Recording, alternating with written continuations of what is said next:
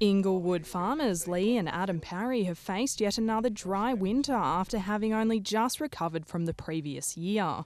Just gradually dried out in July. We never got that much, and um, in August we've only had two mil for the month. It's just so disappointing for it to dry off late, sort of in the season when it's so sort of vital for us to get rain now. Um, things were looking so good early on, so it would have been nice to get a good finish.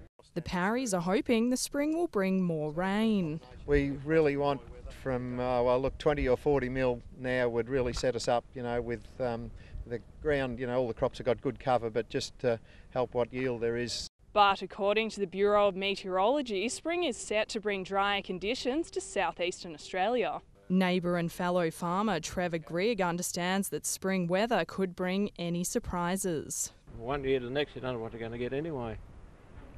Gamble of a game. Real gamble.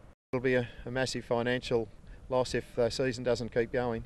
The Victorian Farmers Federation believes that there's still a long way to go before those on the land are faced with extreme drought conditions. The storages are full, or you know, the storages are relatively full, and we've got 100% of uh, uh, uh, seasonal allocation. We've had sort of up and down every year, so it's um, never never two years the same. Uh, so I suppose you get used to it. Rose Houghton, WIN News.